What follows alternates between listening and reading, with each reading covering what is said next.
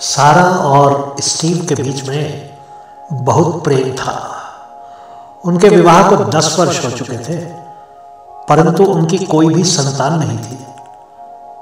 उनके विवाह के ग्यारहवें वर्ष में उनके मित्रों और परिवार वालों ने उनके कान भरने शुरू कर दिए कि उनको तलाक ले लेना चाहिए। वो सबकी बातें सुनते थे, परंतु उनके मन में तलाक का कोई भी विचार नहीं था। उनके प्रेम का बंधन अटूट था। कुछ महीने के बाद, एक दिन जब स्टीव अपने काम से घर वापस आ रहा था, उसने देखा कि उसकी पत्नी सारा, एक पुरुष के साथ घर की तरफ़ चली आ रही थी। उस पुरुष ने अपनी बाह सारा के कंधे पर रखी हुई थी। वो दोनों बहुत ही खुश लग रहे थे।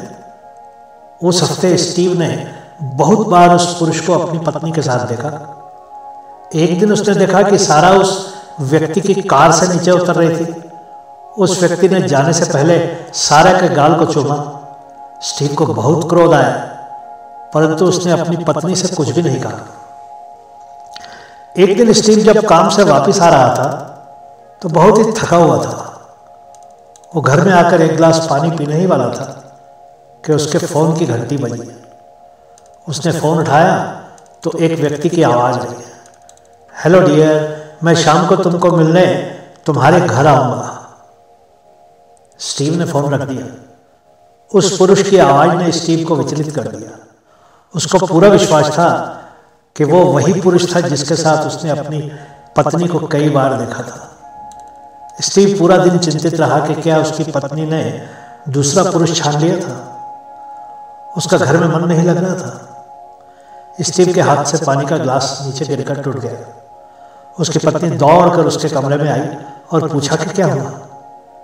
स्टीव ने क्रोध में सारा को धक्का दे दिया। वो नीचे गिर पड़ी। अचानक स्टीव ने देखा कि सारा टूटे हुए कांच के टुकड़ों पर गिरी थी। एक टुकड़ा कांच उसके गले में घुस गया था। वो निश्चल ज़मीन पर पड़ी हुई थी। उसने सारा को हिलाने की कोशिश की, परंतु वो बेहोश हो चुकी थी। सारा के हाथ में एक लिफाफा था। उस लिफाफे में एक चिट्ठी थी। उसने तुरंत चिट्ठी खोलकर पढ़नी शुरू कर दी। मेरे प्यारे स्टीव मैं नहीं बता सकती कि ये लिखते हुए मैं कैसा महसूस कर रही हूँ। एक हफ़्ते से मैं प्रतिदिन डॉक्टर से मिल रही हूँ। तुमको बताने से पहले मैं आश्वस्त होना चाहती थी कि मैं गर्भवती हूँ।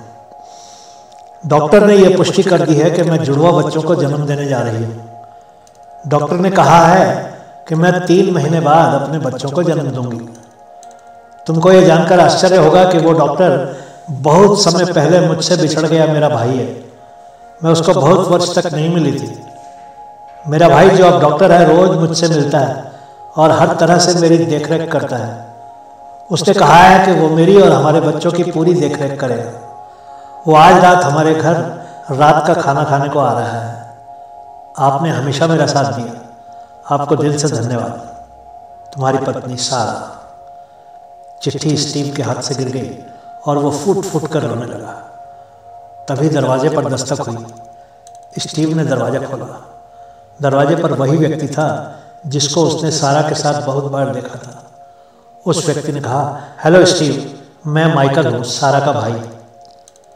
अचानक माइकल ने अपनी बहन को ज़मीन पर पड़ा हुआ देखा। उसके गले से बहुत सा खून निकल चुका था। माइकल तुरंत उसको उठाकर अपनी कार तक ले गया और अस्पताल की तरफ़ चल दिया।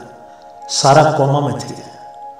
उसने अपने जुड़वा बच्चे खो दिए तीन दिन बाद जब सारा को होश आया, उसकी आँखों में शून्यता थी। स्टीव की आँखों से आँसू थे और वो एक अपराधी की तरह सारा के बिस्तर के पास सर झुकाए खड़ा था। मित्रों, हमको हर एक निर्णय बहुत ही सोच समझ कर लेना चाहिए। पति पत्नी के बीच का रिश्ता बहुत ही पवित्र होता है। और यदि संदेह हो तो उसको खोल कर पूछ लेना चाहिए। हर व्यक्ति जीवन में गलतियाँ करता है, परंतु हम इन गलतियों को जरा सी सावधानी से टाल सकते हैं। कभी भी कोई निर्णय जल्दी में मत लीजिए, नहीं तो आपको पछताना ही होगा। आँखों देखी बात पर भी यकीन मत कीजिए, जब तक आप सत्य की पुष्टि न कर ले। सुनने के लिए बहुत बहुत धन्यवाद।